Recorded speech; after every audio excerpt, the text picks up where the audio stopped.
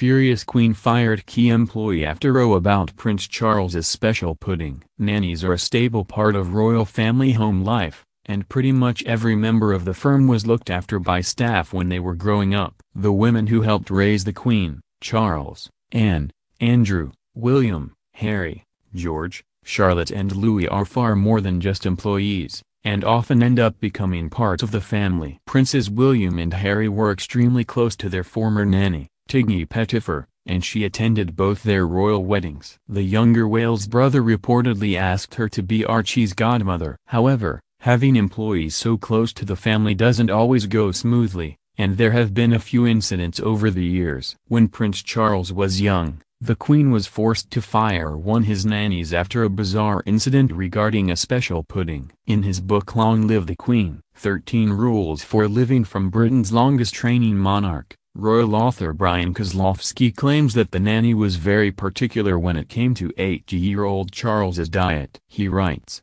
it said she took pleasure in tormenting the palace kitchen with her exacting standards. Dishes for young Charles were constantly being refused or remade based on little more than Nanny Lightbody's personal whims. The queen eventually had enough and fired her. But it was one particular incident that was reportedly the final straw for the monarch, and it all started with a special pudding, or lack of. Kozlowski writes, in 1956, the queen sent the nursery a simple request that Charles, then eight years old, be given a special pudding she thought he might like. The nanny, refused, crossed the dessert from the menu, and incurred the crown's wrath. Nobody crosses out the queen's request. The queen isn't the only royal parent who has had an issue with staff, and Meghan Markle and Prince Harry were also reportedly forced to fire Archie's nanny. The couple initially didn't want any help raising their little boy, who was born in 2019. However after Meghan's mum Doria moved back to the US they changed their minds. But they had a bad experience with the first woman they employed and they were unhappy with her behavior, which ultimately affected their trust of the second person they took on. In their new biography about the couple finding freedom, royal journalists Omid Scobie and Carolyn Durand explain that Meghan and Harry have had three nannies overall. Speaking about what they describe as an incident with the first,